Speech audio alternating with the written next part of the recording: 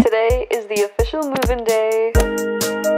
It is also time for the apartment reveal. In my last video, I went and showed you guys all the apartments that I looked at, and I also had you guess which apartment I actually chose. And at this point, I'm convinced that you guys know me a little too well, because somehow 90% of you actually guessed correctly. I did end up choosing apartment number 8.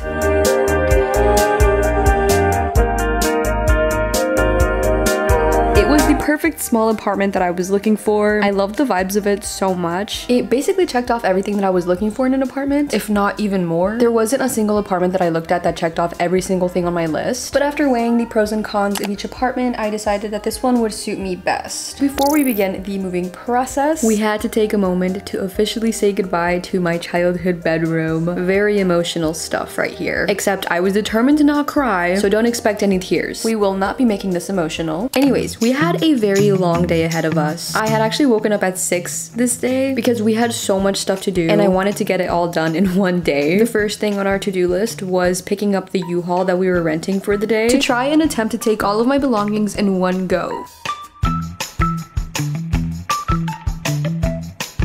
I had actually recently found a really cute couch on Facebook Marketplace. So on the way to the apartment, we decided to pick that up.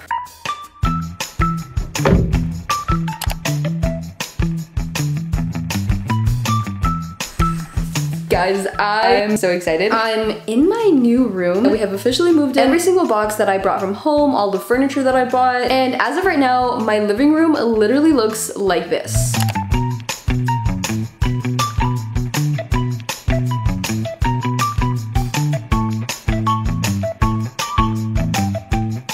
An actual disaster. It is so bad. I literally have everything scattered everywhere. I need to take time to organize and unpack everything, which you're going to be seeing in this next part of the video.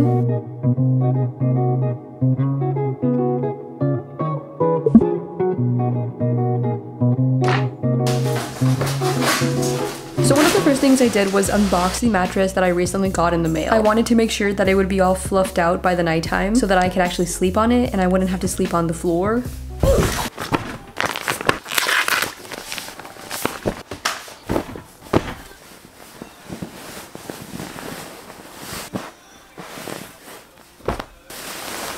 I'm gonna take all it.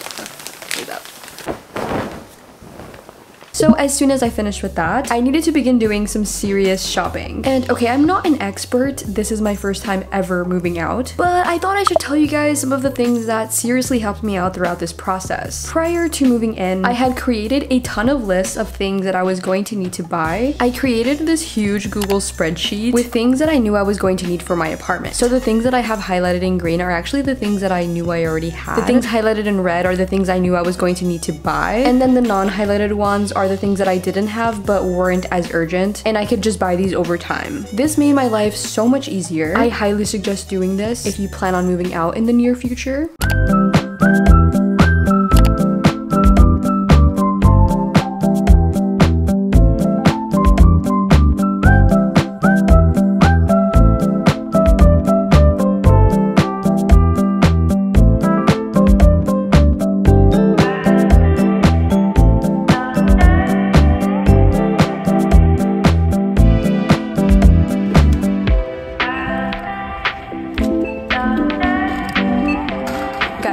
Literally spent the entire day shopping for my apartment, mainly for essential stuff though, like groceries. I went to Target and Daiso and Ikea. Again, just for essential stuff. And I kind of wanted to give you guys a quick little haul. So one of the first stores that I went to today was Daiso and they have such cute stuff there. So first, I got a bunch of these cute little towels. We got this like beige one and these two pink ones, all for different purposes obviously. I got this cute little pink whisk, Rilakkuma disinfecting wipes, wooden towel holder thingy, some q-tips, and this strawberry wax paper. From Target, we got these two pink bowls. Very cute. I needed a big bowl, so I got this like huge wooden one. Got a bamboo drying rack. I had to get a new dry brush because I wasn't able to bring the one that I have at home, and this is like my favorite brush ever. Notice I didn't have any slippers, so I saw these at Target, and I thought they were so cute. We got a broom. We got a pink soap with matching pink sponges.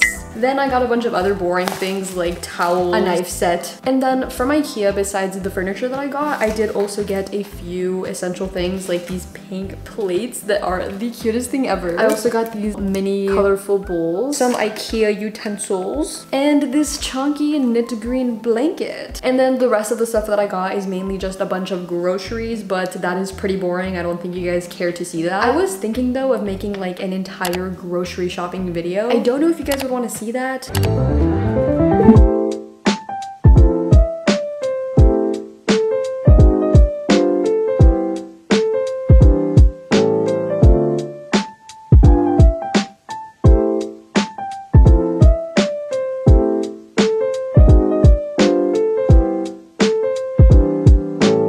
Okay, so that officially wraps it up for day one. It is officially going to be my first night here, which I'm super excited about, except I was a little scared of spending the first night here alone. Just because, you know, the apartment's kind of empty. I'm pretty overwhelmed with everything that's been going on. I'm actually having one of my besties come over to sleep here with me. Pretty exciting stuff. But I am so tired. I don't think you guys understand how much I did today. I can literally fall asleep right now. But no, okay, I'm actually going to have this video be in two parts. So you guys just watched day one, but I'm also going to include day two. Tomorrow is going to be mostly dedicated to just building a bunch of furniture because the room that I'm in right now is just filled with a bunch of Ikea packages that I haven't built yet. And I really just want to get that over with tomorrow. So I'm going to get up early to see if I can try and finish building all of the furniture. Since I only have three pieces of furniture, it should be doable. But okay, I'm going to be knocking out soon. Literally sleeping with the mattress on the floor right now. You guys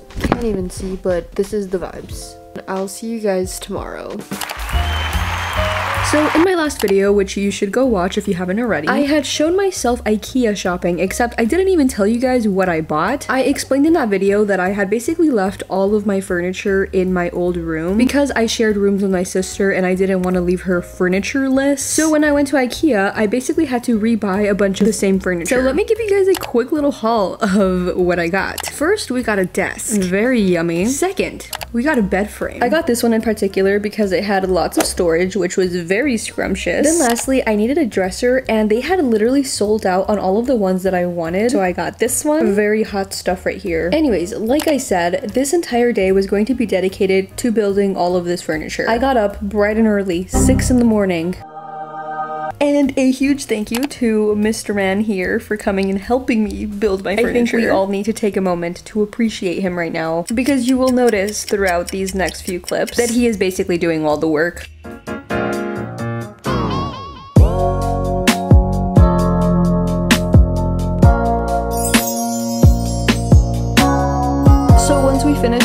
First dresser, we took a break. I decided to begin going through more boxes and trying to organize as much stuff as possible.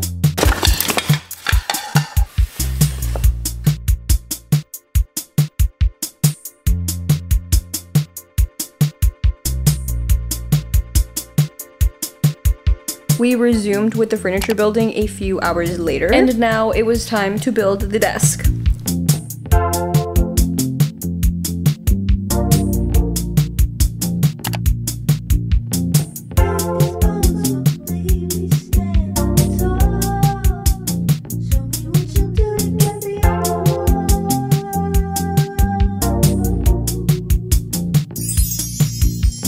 Eventually, I unpacked all of the boxes with the clothes in it and I began to put it into the dresser.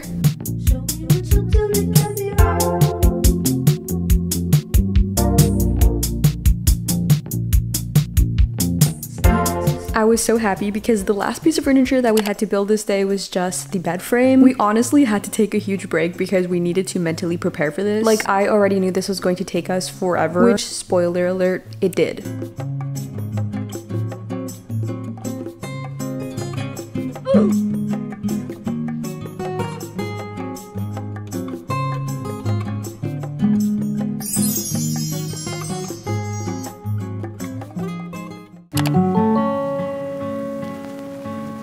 Okay, mm-hmm. it is officially the end of the day. And it has been a very, very long day. Literally, I spent the entire day unboxing, unpacking, building a bunch of Ikea furniture. It has been so, so painful. And just to make it worse, I am nowhere near done. Like, I have so much to do, and I'm determined to finish as much as possible by the end of the night tonight. Right now, I have this huge box filled with a bunch of jackets that are honestly bothering me. Right now, I'm going to be building the clothing rack that I got for my